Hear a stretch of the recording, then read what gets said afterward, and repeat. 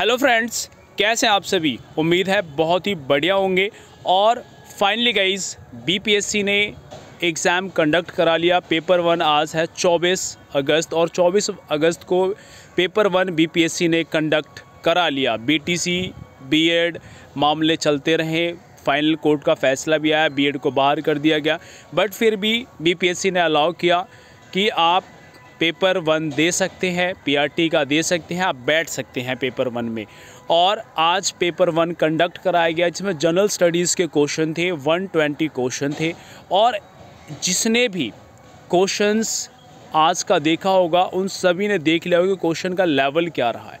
आपने practice set लगाया होगा और आज हम डिस्कस करेंगे स्पेशली कट ऑफ़ क्या जा सकती है बीपीएससी के क्वेश्चंस के बाद पेपर के बाद, क्योंकि जितने भी आपने सेट लगाए होंगे, किरण के जो क्वेश्चन थे बिल्कुल हलवा क्वेश्चन थे। इन्होंने भी अपने उसमें बोला कि हाँ नोटिफिकेशन में कि हम जो क्वेश्चन लेंगे प्राइमरी लेवल का जो हमारा मैथ होगा, प्राथमिक मैथ होगा बट ऐसा कुछ भी नहीं था कि प्राथमिक मैथ रहा हो।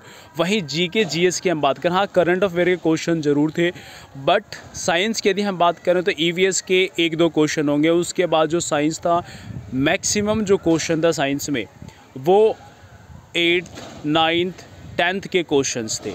क्योंकि यहाँ पर एक भी ऐसा क्वेश्चन नहीं होगा, जो हम कह सकते हैं कि आपका मॉडरेट या आप बेसिक लेवल के क्वेश्चंस की हम बात करें सब का लेवल हाई था प्राइमरी से, क्योंकि अभी आप ही देखो, अभी केमिकल रिएक्शंस फिफ्थ तक कहाँ पूछ जाती है? एक आयरन को हाइड्रोक्लोरिक एसिड के साथ मिलाया जाता है तो कौन सी गैस इवॉल्व होगी? कहीं नहीं है फिफ्थ में, है ही नहीं साइंस ये तो हम पढ़ते हैं रिएक्शंस जब नाइन टेंथ में आते हैं तो।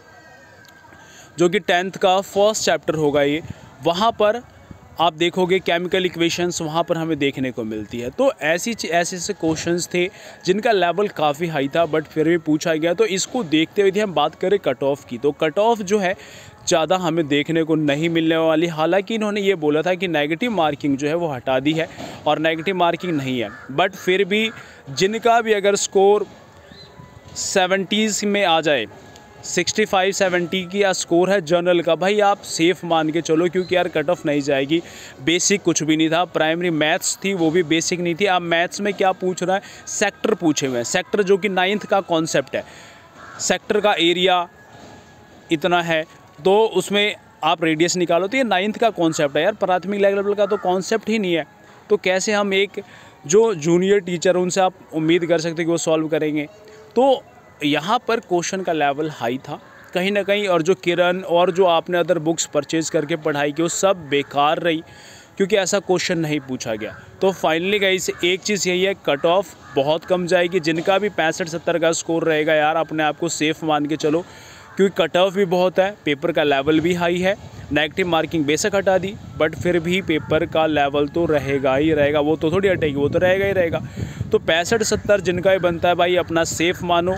और सिलेक्शन हो जाएगा। बस ये बीटीसी और बीएड का मामला दोबारा कोर्ट में ना घसीटा जाए तो ये डेफिनेटली है, सीटें मिलेंगी सिलेक्शन होगा पैंसठ से सत्तर नंबर में।